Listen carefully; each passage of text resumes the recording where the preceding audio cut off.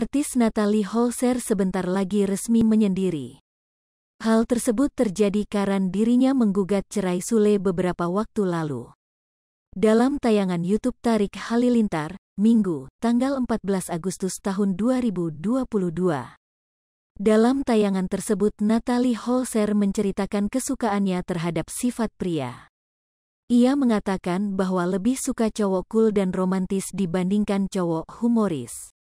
Bahkan, Natalie Holzer mengatakan bahwa suka langus luluh saat pria tersebut mengatakan cinta kepada dirinya. Meskipun demikian, Natalie Holzer juga menyukai pria yang lucu. Artis Natalie Holzer juga mengatakan bahwa rela melakukan apa saja untuk pasangannya. Sebelumnya, Franz Faisal makin dekat dengan Natalie Holzer dan Atzam.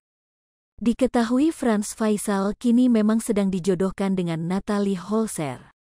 Bahkan warganet menyebut Franz Faisal bisa menggantikan Sule menjadi suami Natalie Holzer dan ayah sambung untuk Atzam. Baru-baru ini Franz Faisal membagikan momen kedekatannya bersama Atzam, anak Natalie Holzer dan Sule. Melalui Instagram pribadinya pada Rabu, tanggal 17 Agustus tahun 2022, Franz Faisal membagikan tangkapan layar saat ia video call dengan Atzam. Kakak Fuji ini mengaku merasa gemas dengan anak Natalie Holzer dan Sule. Bahkan Franz Faisal juga meminta izin kepada Natalie Holzer untuk mengajak Atzam bermain.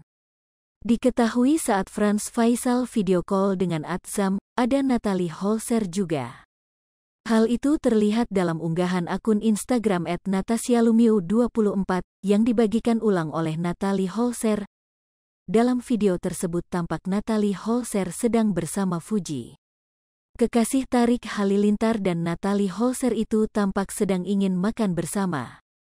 Namun tiba-tiba Fuji mengarahkan layar handphonenya ke arah Natalie Holzer. Tampak pada layar handphone tersebut ada wajah Franz Faisal. Terlihat Natalie Holzer dan Franz Faisal ngobrol bersama melalui video call. Lalu Fuji juga mengarahkan layar Han. Defonnya ke arah Atzam. Diketahui Atzam bertemu dengan Franz Faisal saat Natalie Holzer ke rumah orang tua Fuji. Bahkan Atzam sampai minta digendong Franz Faisal. Sebelumnya Natalie Holzer juga sempat mengakui bahwa Atzam nyaman bersama Franz Faisal. Lantaran melihat Atzam nyaman bersama Franz Faisal, Natalie Holzer dijodoh-jodohkan oleh warganet. Hai pemirsa Sri Popo TV, jangan lupa komen, like, dan subscribe, serta tonton terus berita-berita terupdate lainnya